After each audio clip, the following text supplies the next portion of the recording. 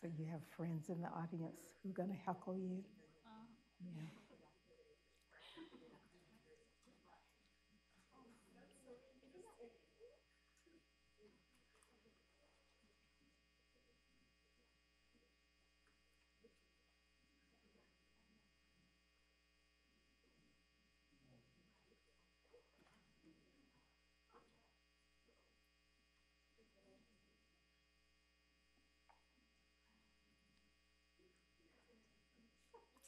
Good afternoon. Thank you for joining us for our award winning We Need to Talk series on structural racism. This program is sponsored by the UNLV University Libraries and the Greenspun College of Urban Affairs. I'm your host, Claytee White, the director of the Oral History Research Center. Today, we turn our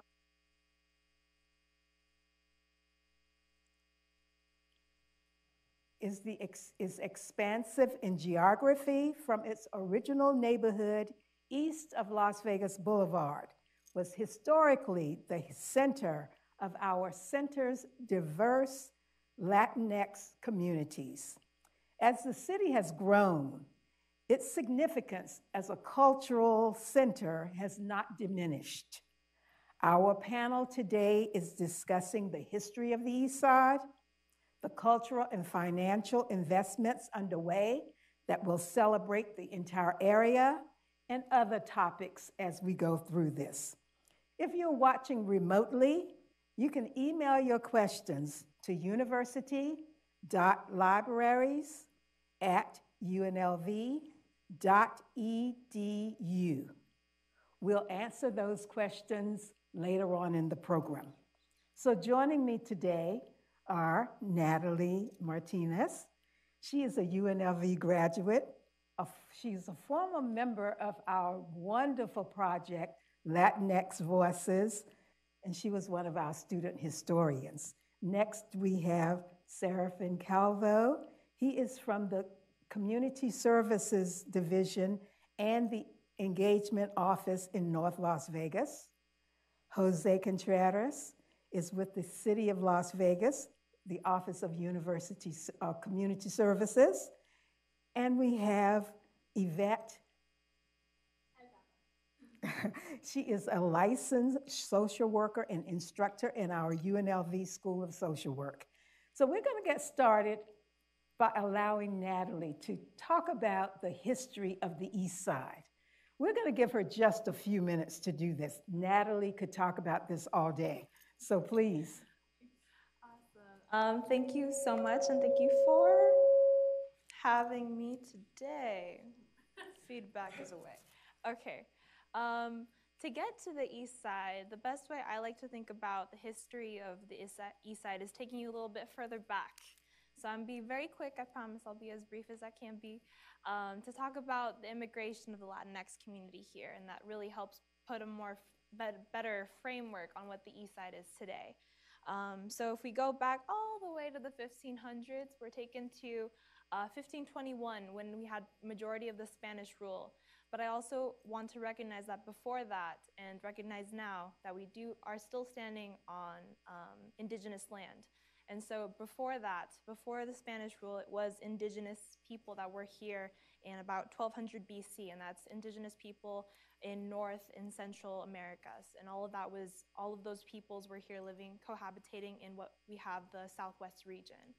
Um, then in 1521, the Spanish came and had some ruling here in this general, in the Southwest region here. And then in 1821, Mexico came over to find their independence.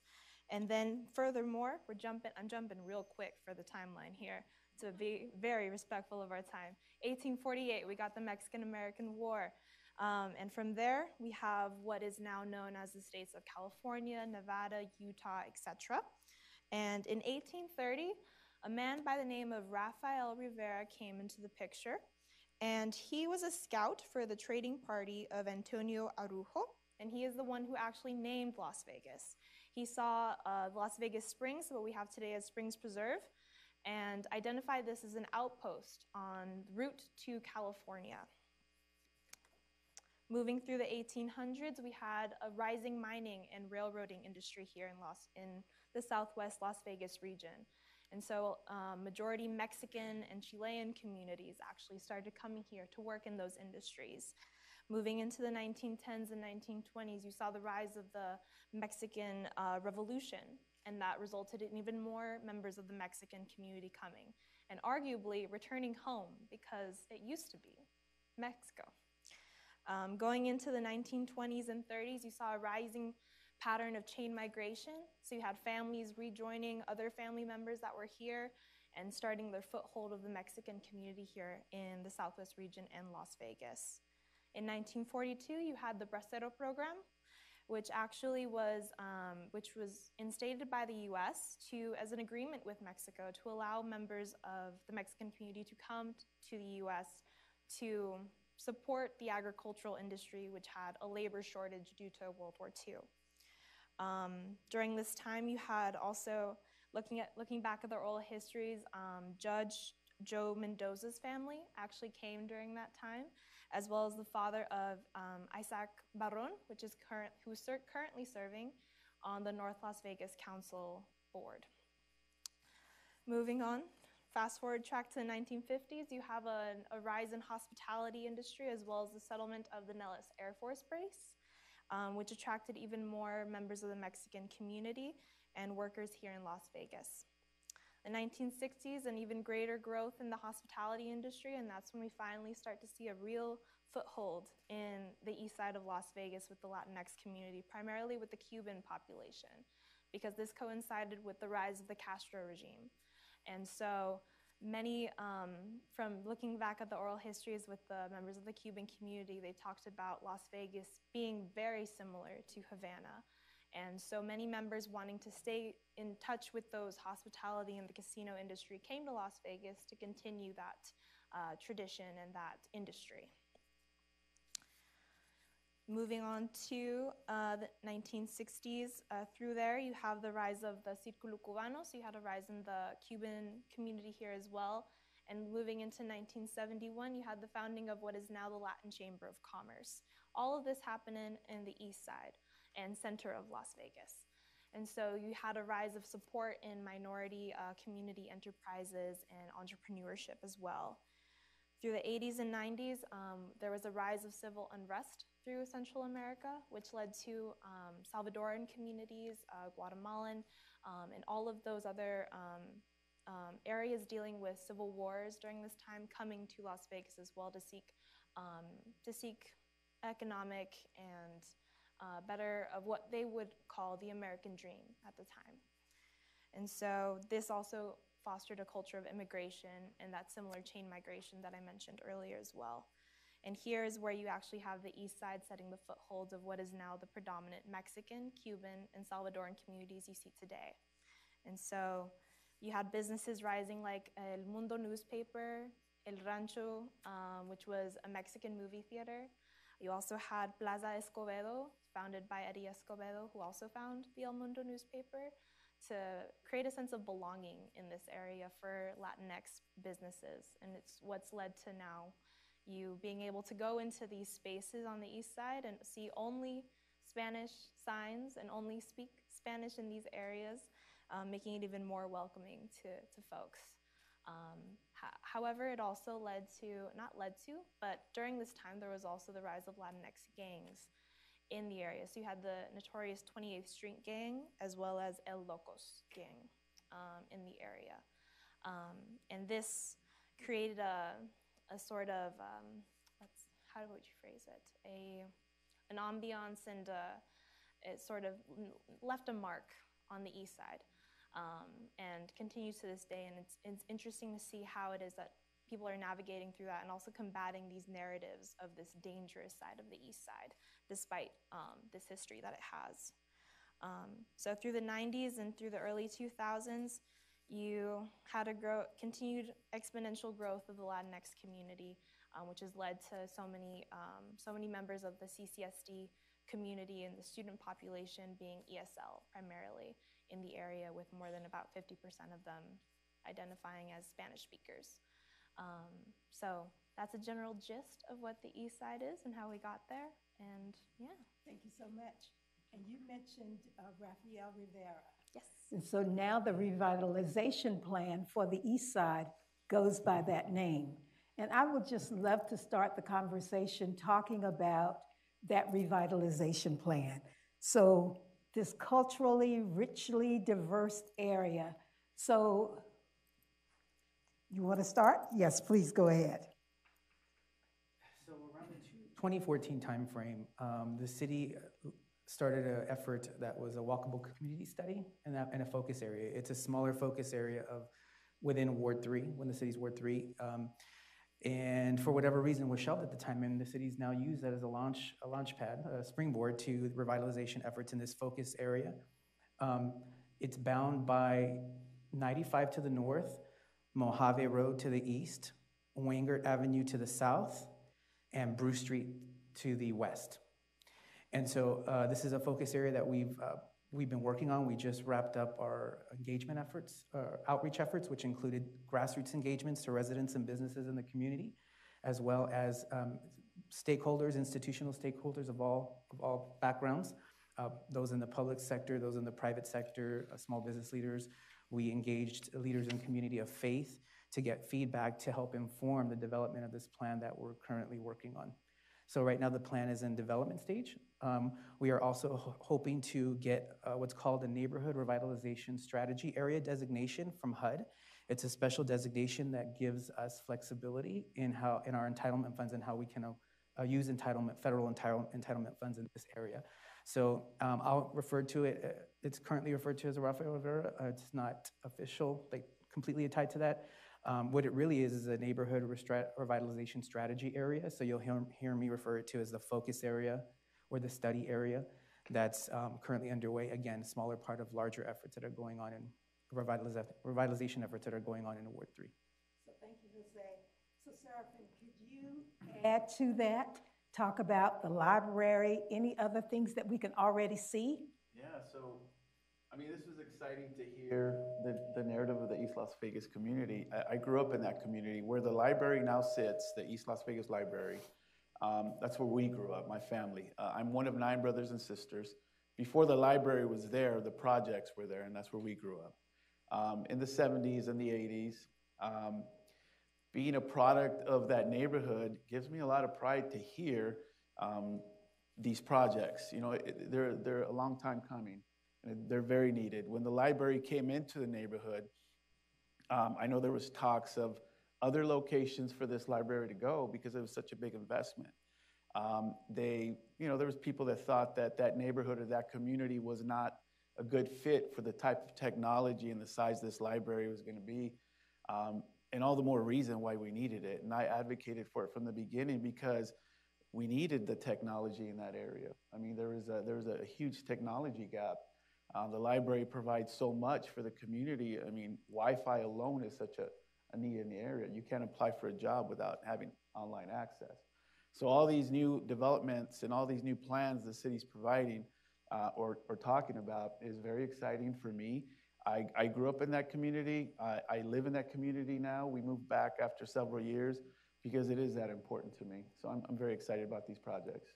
So I love the library, and I love that maker space that it has. Yes. I mean, we have a maker space here at UNLV, but that maker space is just amazing. Yes, it is. So Ivet, could you, going from there, let's talk about how we talk about Wi-Fi and all of mm-hmm. that and what this library means when it comes to technology, technical, all kinds of innovations. So please talk about that and talk about how we didn't have that during COVID. What happened? Yeah, you know, I think um, as we can all, you know, attest to the challenges that we faced when we um, had to transition, you know, a lot of different spaces to online instruct- instruction. Uh, we saw a lot of our Clark County School District children, right, and families, you know, facing a lot of barriers as to, you know, well, what do we do now, right? And do we have access? Um, to to Wi-Fi, right? To connection in order for our children to continue their education. Um, and I think, you know, initially, you know, the idea was, well, this is the way to go. Let's go ahead and do that, right? But we didn't take into account that a lot of our folks don't have access, right? And so I think that having a library like this in this particular area of our community um, allows, right, for that accessibility for a lot of our young people, a lot of our families. But not only that, it also offers a safe space, right, for them to be able to, to congregate, to learn, right, and also to bring in the rest of their community and family.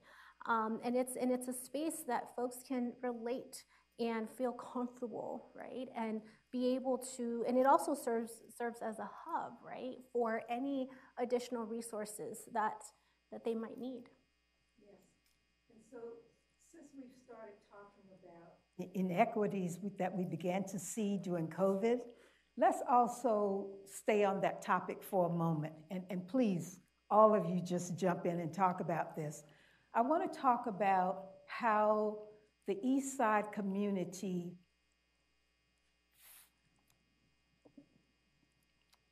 that community suffered more than any other communities in Clark County. And there are reasons for it. You can talk about employment, talk about medical care, talk about mental health, any of those areas. So anyone who is comfortable to jump in, Ivet will just take over if you don't just jump in, because these are things that were so profoundly felt in our city during this time.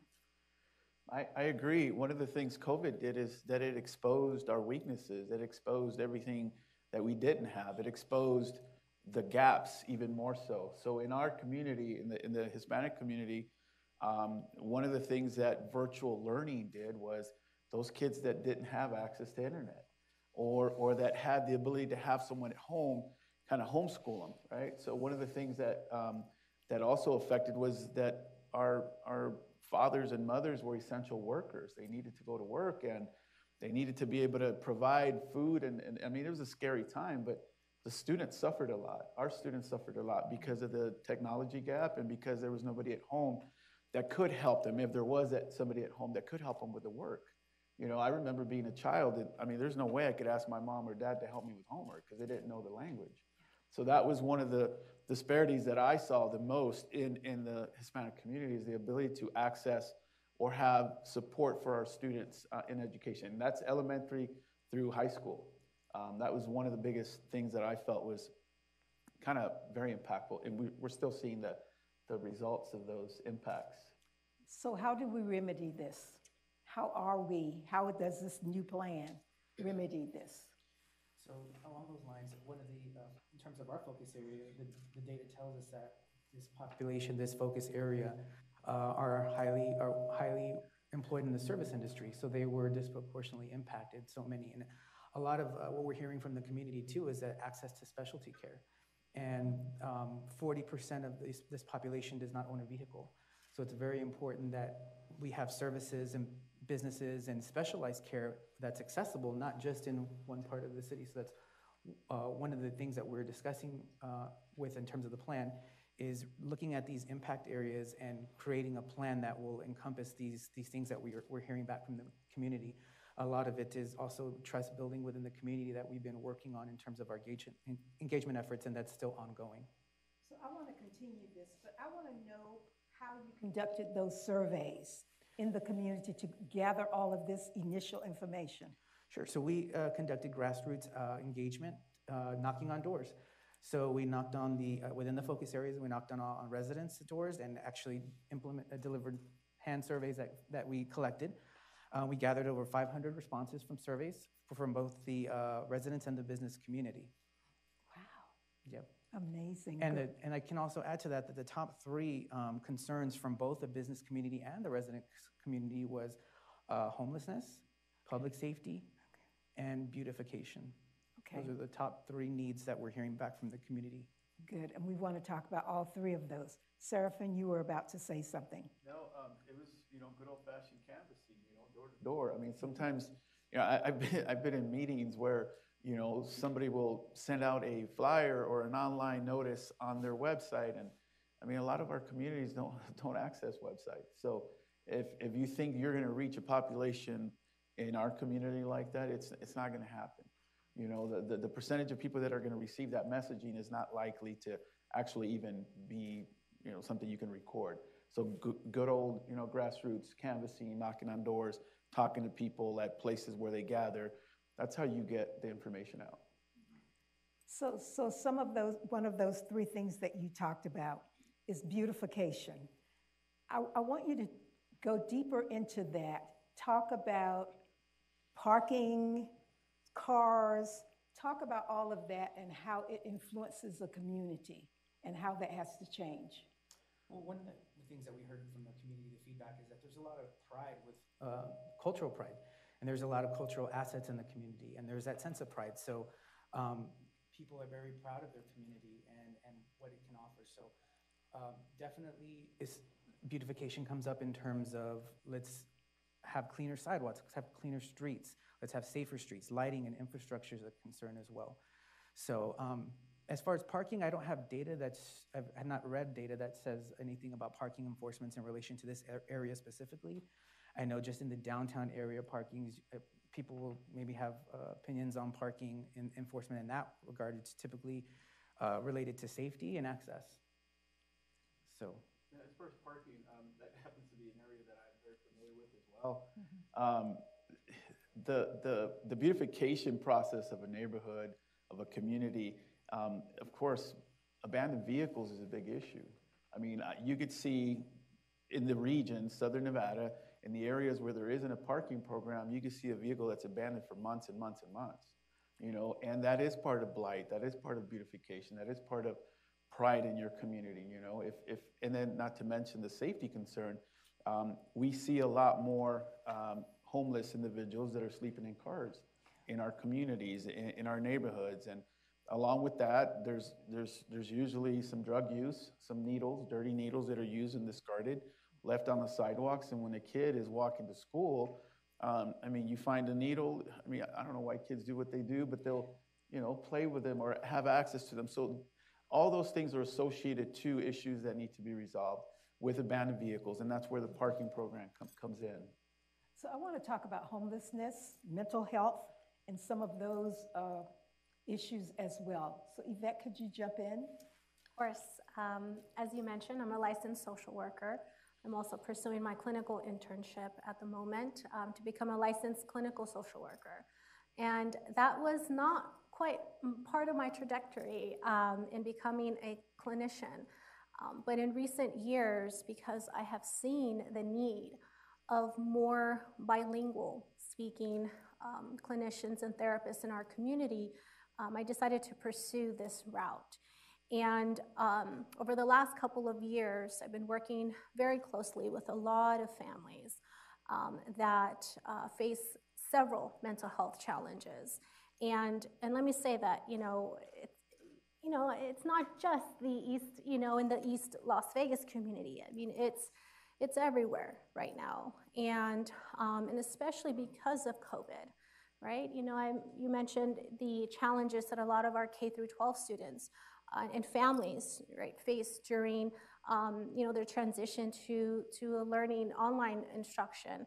But we also saw that within this space, you know, of higher education.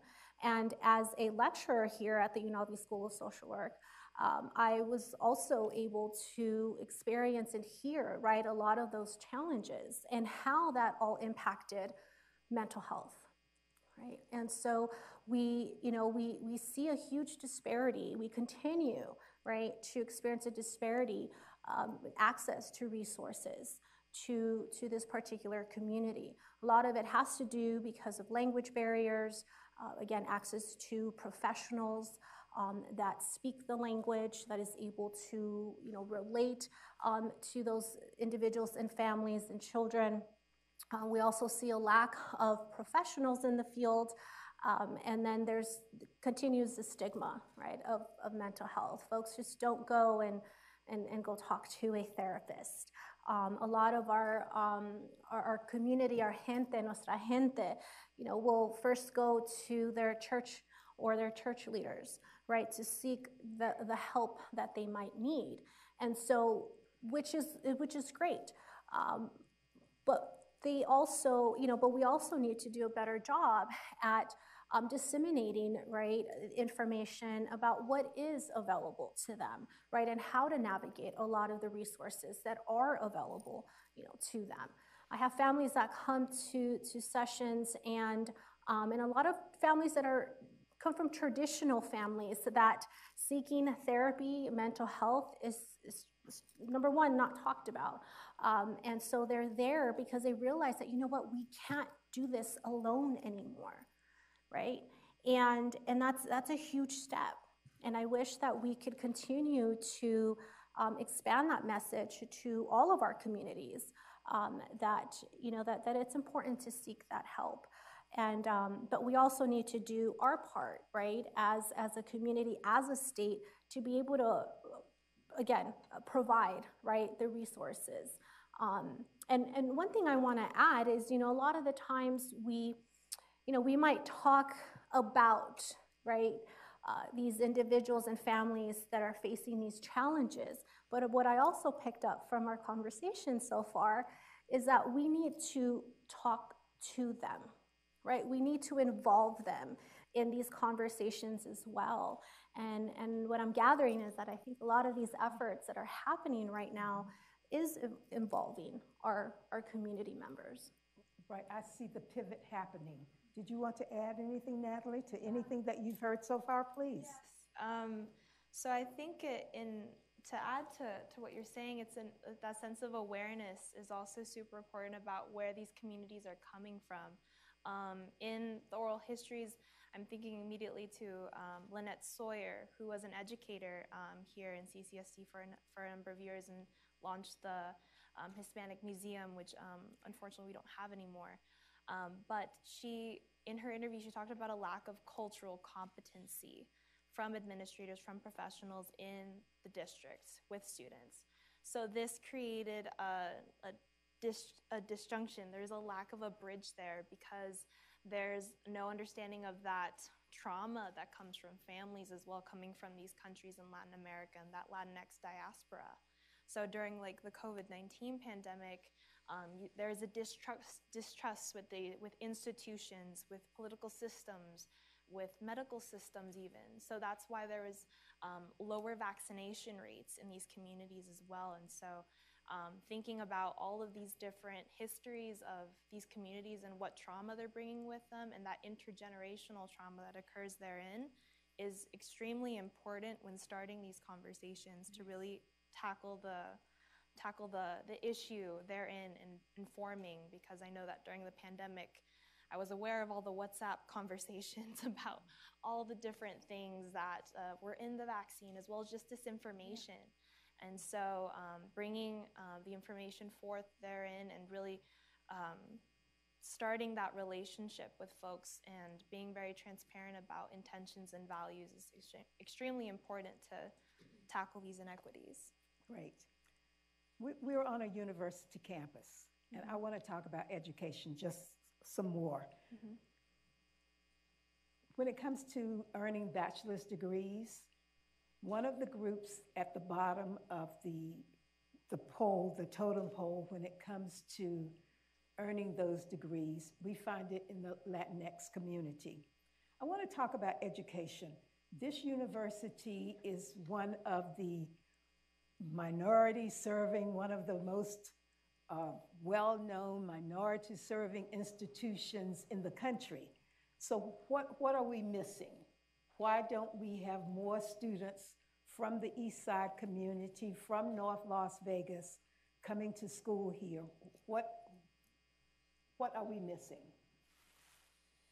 How long do we have? Yeah. um, that's a real question here. Um, yes. You know, again, I don't have the the answer or answers, right? You know, to this, but I can base it off of just my personal experience. Okay. Um, I have all of my three degrees from UNLV. Uh, I've been in the state of Nevada for 21 years. graduated, first generation, graduated from Clark High School, and then immediately went uh, and started here at UNLV, and now I, I'm a faculty member here at UNLV, so very proud rebel. And, um, but getting here was, was definitely not easy.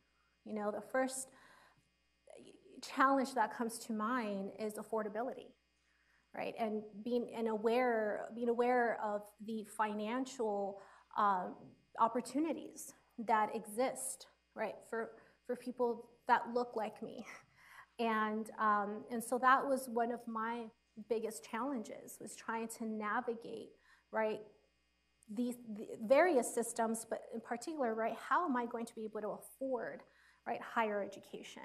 Higher education is also not always an option, right, for a lot of our um, members of the community.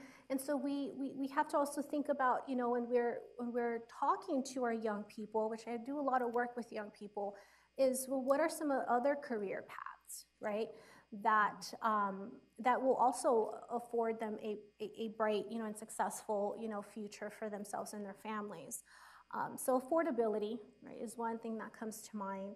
Um, you know, secondly, you know, being able to offer the spaces, you know, for our students to to be able to identify right with one another.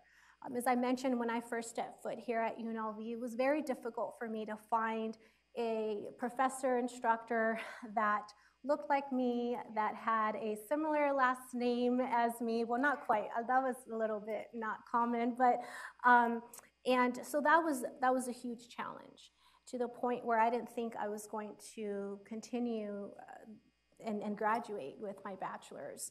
Um, but I've seen over the course of many, many years, you know, how UNLV has improved those efforts through a lot of diversity initiatives, through the MSI and the, you know, Hispanic Serving Institution designation, um, to be able to afford those opportunities to our student population, but also to our staff and faculty.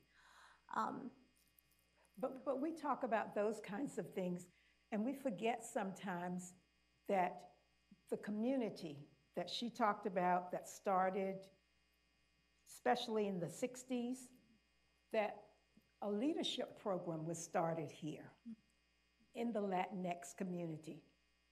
Anyone, talk about that and how significant it is today and has been for many, many years now Nathalie can also join in this Yes, yes. Um, so the Latino Youth Leadership Conference um, started in 1993 under the auspices of the Latin Chamber of Commerce.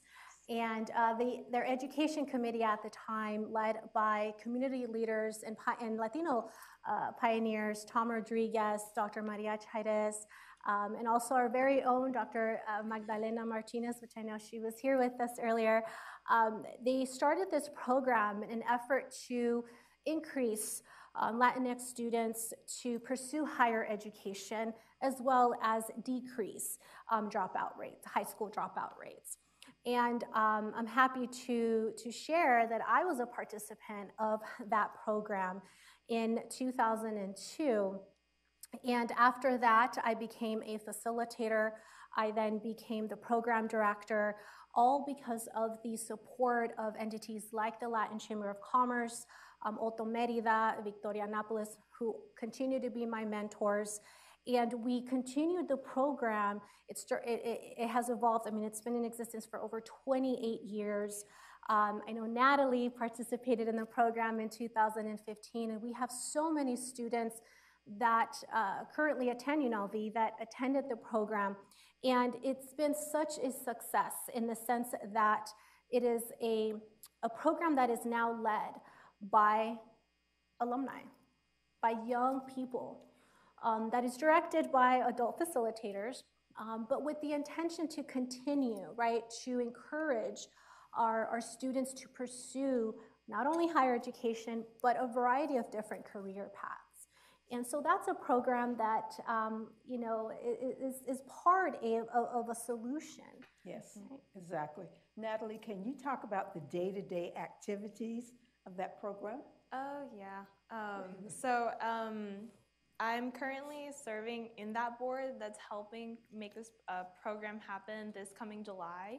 Um, applications are still open. If there's any juniors or seniors out there that still want to apply, please, we welcome your application. Um, and so the day to day is we're focusing, we have central themes for each of the, the, the six day, five night conference that we have here at UNLV. We house the students here in the dorms. Um, and as Ivet mentioned, this is all alumni organized, uh, completely volunteer basis because we know that it was such an impactful experience for us. And we want to make sure we continue supporting our Latinx youth here in Las Vegas. Um, in Greater Southern Nevada, we've had people from, uh, from other parts of Southern Nevada come here for this program because they know it's such a success. Um, but we have themes um, for each of the days based on community, leadership, higher education. We even have folks come uh, talk about financial aid and what that means. What's a subsidized, what's an unsubsidized loan? So we try to our best to inform um, our high school students about these, um, so what they would see as barriers to higher education, just to make sure they are aware of and informed about different ways they can access these resources and um, get that degree or go to trade school um, and see another path for them after graduation from high school. Um, and one of the great aspects of it is that cultural element um, and that cultural community. Um, and one of my best friends is from my familia because we we've put folks in familias, and my best friend today is still he was my brother in in my family, and uh, we've made some great memories. Wonderful. So I- I don't want to forget the other uh, issue in the community, and that's homelessness. We didn't talk about that yet. I hate to jump from something as positive as that leadership conference to go back to homelessness, but we cannot allow this panel to end without it. What has happened? Tell me about the joblessness, and is that the unemployment? Is- that fueling this? So what is happening with housing? And as we talk about revitalization, where are we going with the housing? Well, in our focus area, it's important to know that the average, the household median income is around 25,000 for this focus area.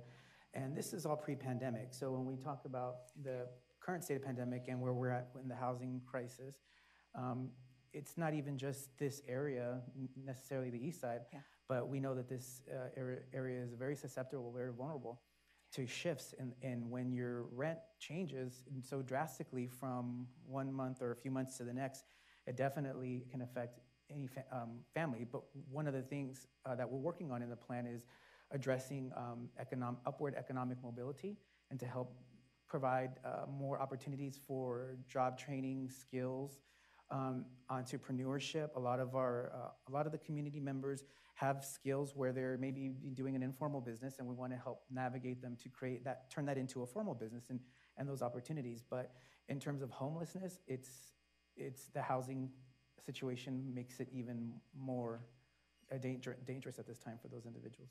Okay.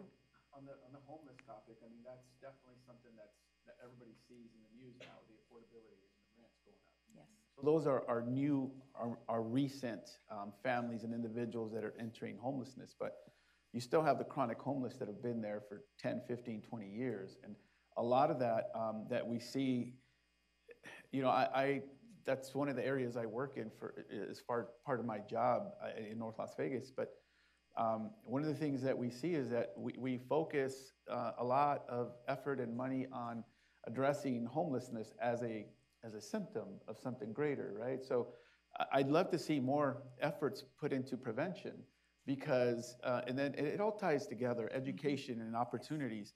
Uh, when, when a population has barriers and they don't know how to overcome barriers, um, you know, it becomes a generational issue. You know, poverty is generational, drug abuse, gang, gang uh, participation is generational. If we don't start addressing prevention strategies to prevent these things, um, the barriers are going to continue to stack up. And it is, it is a community's responsibility. And when I say community, I, I don't just mean local government or educators or schools or it's everybody's best interest, you know, to, to tackle these responsibilities that are a community issue. It should be a community solution. You know, more prevention. Let's focus on um, breaking some of those barriers and replacing them with opportunities. You know, and everybody can participate in that. One of the things, if I just could add, one of the things that I am so, so like, that excites me more than anything else is the youth. You know, last couple of years, we've seen on TV worldwide, those that are making policy changes in the world, not just in our country, are, are the youth, you know, the young adults. You know, and, and it just, it gives me such hope for the future because if anybody's gonna be able to make these changes that are necessary, it's gonna be you. And I think it's important that you realize how important it is for you to be socially responsible, getting involved, civically engaged, so that you can impact policy and impact the legislative changes that happen. Just because policies exist for 20, 30, 40, 50 years doesn't mean that they can't be changed. You know, we need to adapt them with time, and that will help us address on the prevention side. So we're not addressing the issues on the, on the chronic side as a symptom. And, and if I could just say, you guys out there that are here at UNLV, that are studying, that are out listening, you have so much more power than you realize.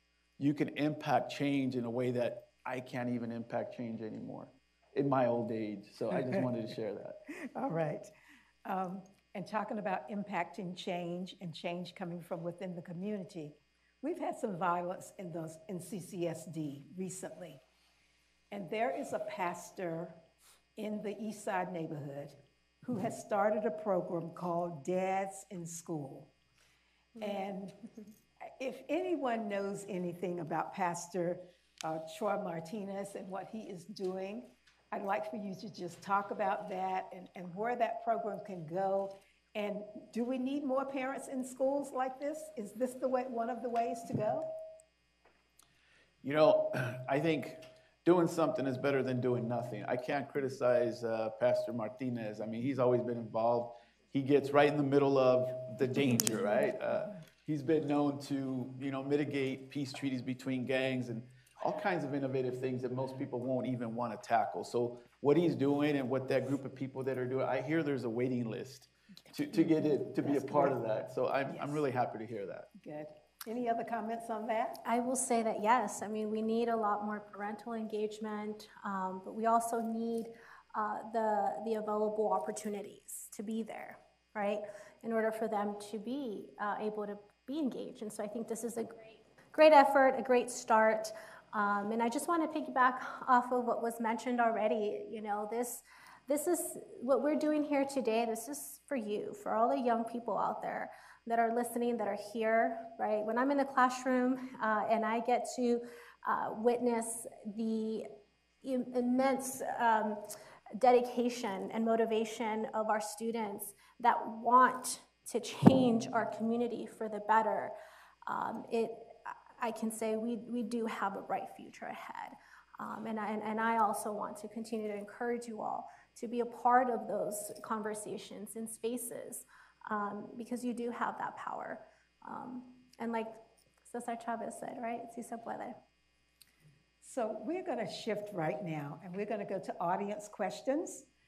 Some of you have sent questions in by email, so we're going to address those as well. Uh, we have some people who will be in the aisles with a microphone to have you pose your questions live to our audience.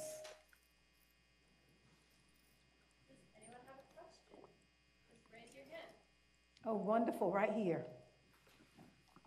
Uh, we can't see well enough when you, okay, good, thank you. Yes. Um, yeah, go ahead. Okay. Um, hi, I'm a history student here at uh, UNLV, and I was raised on the east side. And I went to a predominantly Hispanic high school. It was Del Sol Academy, and um, I'm I can pretty confidently say that most of the students there would have never recognized that the East Side had like such a long Latinx history. Um, obviously, it's easy to recognize that there's like a Latinx community here in Las Vegas, and they of course have history here. But I would have never thought it was something specific to the East Side. Um, and I wish there was. I mean, the CCSD has so many things to work on, but I wish in schools there was like more. Um, this was more emphasized, and that more students would be aware of this. And um, I know there were a lot of immigrants at my high school, and um, they, I was a tutor in a class one time, and um, I felt kind of helpless be- or useless because um, they didn't want to learn, like, um, because uh, I guess like they weren't receiving good accommodations, and um, uh, yeah, the education just wasn't really helping them anyway. And so I just wanted, I was curious, like, if you guys know if there's like a project or anyone working on anything to um, like encourage more awareness of this history in the East Side. So I think that we maybe have an answer. Um, oh, I was about to ask for the mic. I forgot. um, uh, so, actually, one of the former members of uh, the Latinx Voices Oral History Project and a very proud East Sider, um, Lawrence Bañuelos Benitez, he is now um, a teacher in the district. Um, I'm not entirely sure of what high school it's. it's Rancho. Rancho. Um, and he's actually brought the oral histories that we collected in the project to his classroom, and he's sharing that with his high school students. Um, I'm not sure if there's a wider project like that happening in our NCCSD, but I do know we that those initiatives are starting, um, and it starts with one, and the hope is that he'll um, build that network so we can have a, a, greater program that really connects students to connect with their own community. Um, and really uh, combat the narratives that you do see uh, that are affiliated with the East Side and then other parts of Las Vegas as well. And because we have some teachers now at Rancho High School, they are doing an oral history project of the community surrounding the school and the families of some of the kids. So we have over 700 kids who will be collecting information and history about the city over the next few weeks. We trained them here in the Oral History Research Center. So yes, some of that is starting to happen. And Clayton also wanted to add that we are in the process of starting some engagement work specifically around that, uh, where we're going to invite the community to share their memories, their pictures, or artifacts, so that we can tell more of the, the, the story of the East Side. Uh, we actually were, um, and it was announced that we are the recipients of a grant through the National Park Service for this area. It's a, a historical context uh, survey. We'll do a recognizance level survey of this focus area to determine if there's any um, structures that meet national standards for historical preservation and, and the historical registry. So there will be more conversations along those lines of, of capturing those and telling those stories. Wonderful, That's amazing. Uh, I think I see another hand here, yes.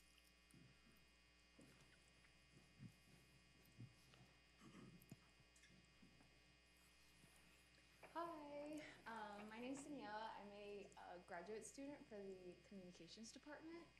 Um, and this is probably a little less of a question and more of a my little nugget of trying to advocate for something. Um, so I have three younger siblings. All three of them are um, avid participants in CCSD's like mariachi program. And they have started since sixth grade. I have a sibling who graduated high school and um, all years from sixth grade up until senior year participated in mariachi, and so are my two younger siblings. And one of the things that I have found is many mariachi students feel the sense of graduating and not having an opportunity to continue to practice their craft. Mm-hmm. And I think even thinking about like UNLV or like uh, CSN, having that um, avenue to continue to practice that there's a lot of need for that. Um, I say that because my brother has tried to like gather students who have graduated to even, you know, perform as a group. And right before COVID, they were getting like Instagram messages to like participate in events and stuff. COVID happened and then that completely fell mm-hmm. off. but I think there's a lot of room to continue to like nourish perhaps um, mm-hmm. that talent that is very unfortunate students graduate and it kind of stops.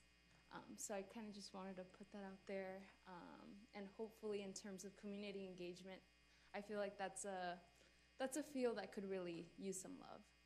Yeah, thank you for that. That's something I, I will look into a little bit further because that would be an awesome uh, opportunity to uh, elevate those musicians into uh, you know secondary education programs as well, because that is something that um, I mean, I hear mariachi music and I feel like crying. I don't drink, but I feel like taking a shot of tequila or something, right? But, because it is so culturally tied to our yes, roots. Absolutely.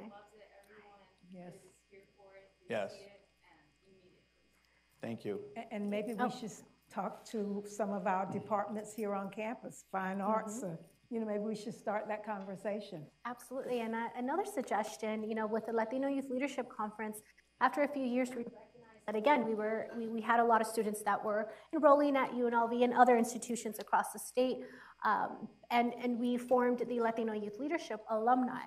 I serve as their their advisor, and um, and so another suggestion would be maybe you know if your brothers come here or a brother or you know someone else that's part of that you know a musician that's part of that program or was part of the program maybe they can start a student organization right and start to kind of get some fillers and, you know some folks interested and and and then i think with the connection with the fine arts with the department of fine arts yeah could be a start I, I see a hand, I see two hands in the back. Sorry. Um, I w- originally I wasn't going to ask this, but I second everything that you just said because um, my both my sisters were also in mariachi and like got really good at it, and then kind of just like you said, like fell off after um, high school. And I was in Folklórico. I opted out of mariachi. I didn't want to play an instrument, but same thing. Like it really um, brought me closer to like being Mexican. Um, so I also agree that it's a very big thing that could help a lot is like bringing that out and making it um, putting more emphasis on it. I remember one of my favorite memories in middle school was we had Mexican instructors come and teach us Folklórico, and we had like a whole conference and we performed at the Smith Center. So it was really just a great memory.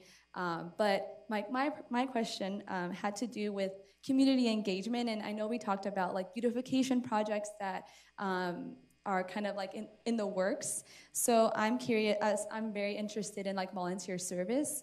And so I want to know uh, what programs are currently like taking place. And um, as far as like, like park cleanups or uh, street cleanups, I know that's like something that um, needs to take place. So I was curious what system is in place to get involved? Like how is um, like an who to reach out to and things like this to get involved, whether it be North Las Vegas or Las Vegas, but participating in those volunteer service projects. Well, I'm, I'm gonna share something real quick. So I live in the east side in the city of Las Vegas in Ward 3, but I work for North Las Vegas. So in, in, in we're downtown North Las Vegas. So my heart is like, there is no jurisdiction in my love for my, my people, mi raza.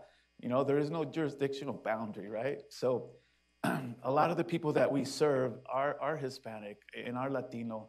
And one of the parts that's so important in helping and educating and helping this community grow is um, social responsibility, which to me means volunteerism, right? So we're, we're starting a volunteer program in North Las Vegas, um, not just for employees, but also for the community to be able to get involved because we understand the importance of somebody learning how to how this community functions, how this country works, how we get involved in our community. It starts with social responsibility, which means we volunteer, we participate, we we pick up the trash that somebody left on our sidewalks because it's where we live. We should have that, you know, that pride of where we live. And sometimes when we come from other countries, um, we don't we don't have that, or we feel that this isn't our country, so this isn't my responsibility. When in, in, in fact, if we're living here, whether we rent or we own, this is where we live. We should take pride in that. So, volunteerism is a very important part of that progression, that growth, the, the, the ability to accelerate a generation or a group of people into um, after social responsibility to civic engagement and then to participating in policy changes and things like that. That's where it starts. So we're focusing on that, and that's very, very important for us. So I don't know, Jose. Uh, I'll add to that, in terms of our revitalization efforts, um, there is a component, there will be a pillar or impact area, I should say, uh, that speaks specifically to arts and culture. So we actually engaged local artists and, and got feedback from them and talking about creating cultural hubs and spaces to celebrate culture. So there will be opportunities for just not only public art, but more of a celebration of the culture in the area. And so that's something to look uh, look for. You can find more area, um, sorry, more information on the City of Las Vegas webpage under uh, governments initiatives. Uh, Rafael Rivera Plan. We'll talk more information. That's a good way to get connected to our newsletter as well. Um, in terms of just beautification, we do have a Adopt a Spot program, and you can also find more information on the website to talk about existing programs. And we are working on strengthening our volunteer programs as well. Wonderful. I see several hands on this side of the room. And this is probably going to be the last question. Who's gonna get? Hello. Um, Thank you all. This is so marvelous, so encouraging, and I'm so grateful to be here to hear this. Um, The arts have always led in the transitions that come in our communities, and please follow that trail in the arts. I want to throw out the idea and the suggestion that uh, the energy transition that we are in right now needs to be represented in, in your communities. And I hope they're having that conversation in both the beautification and the revitalization. It's significant, and uh, there are opportunities out there uh, because 40% of the monies being allocated have to go to underserved communities. People want ideas, people want to understand what you're looking for. Tell us what you're looking for. Um, I just received a, a grant from the Nevada Arts Council to uh, work out the, at the left of Center Art Gallery in North Las Vegas uh, to have seven workshops with the NSBE Junior organization, National Society for Black Engineers Juniors, and we're going to talk about poetry elements and public speaking about renewable energy and the climate change. Arts can lead the transition. Thank you so much. Thank you. Thank you. So are we about out of time? Or do I have time for one more question? We have time for one more question? Sorry to everybody else who didn't get to ask. But, uh, uh, you brought up, uh, I forgot your name, but uh, Jose. Councilman Jose? Jose? Yeah. Sorry, No. Jose. You brought up the Or Serafin? you brought up the importance of the uh, East Las Vegas Library and being able to like access resources. And I just wanted to ask about like uh, specifically to the two councilmen. Are there any future projects that are specific to physical uh, infrastructure investments, such as a library or a park, that will help people? Because a lot of people brought up the need for social spaces to feel comfortable in, the need for cult- uh, places to hold cultural events, to hold uh, jobs training centers, and for other education informational services. Like if there was a specific physical space that could be built, uh, are there any future projects for that space to be built, and uh, how much uh, community uh, feedback is going to be given to like shape how that looks or how that pans out? Are there any specific plans? That is why I'm asking. So, um, first of all, you just promoted me to councilman. Yes. Thank you. Um, uh, I'm not a council person by any means, but, but thank you. Um, To answer your question, everything you just described um, was created into uh, the East Las Vegas Library. So libraries today aren't what they used to be, right? Yeah. They were just books, a bunch of encyclopedias and all kinds of stuff.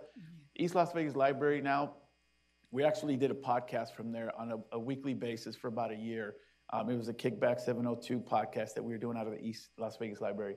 They also have a recording studio, like top-notch uh, uh, technology. So if anybody has an opportunity to go to the to go to the um, library, check it out. But that also was designed with the intention of having cultural events. So they have a, a cultural center where you can provide, um, you can seat up to 300 people. So there's a lot going on in that library right now. But what you're describing, I think, um, is, is, is I, I don't know if there's plans in the future for more places like what he described that, that you might be able to talk about. Um, not in terms of a library, but I can tell you in terms of infrastructure projects, we have about 29, roughly 29 infrastructure, infrastructure projects slated for um, within the focus area and the greater Ward 3. So it's a lot of work that's being done, a lot of investment that's being made. Um, you mentioned community engagement. We're certainly going to have community engagement efforts around this uh, neighborhood revitalization strategy area. But if that's the one message and takeaway I can give is just to get involved. Yeah. Follow us, interact with us on our social media platforms, on our website, sign up to our newsletter, because that's the most critical piece is getting the community uh, educated, informed, and involved. Wonderful. So I'd like to thank our panelists, Ivet Aldaba, uh, Jose Contreras, Serafin Calvo, Nathalie Martinez. Thank you so much. This was a wonderful conversation. So in closing, um, again, I want to thank our sponsors, UNLV University Libraries, the Greenspun College of Urban Affairs. I also like to thank, thank UNLV TV for streaming these amazing conversations that we get to hold. If you'd like more information on this topic, other topics that we've talked about in the past, please visit www.library.unlv.edu backslash we need to talk. We have a number of videos, and, and you'll find previous conversations, and you're going to find all kinds of resources, additional reading materials that go along with each of the conversations. I want to thank you for this conversation today, and I look forward to, in the fall, we're going to have more of these new topics that we're going to be discussing. So thank you so much.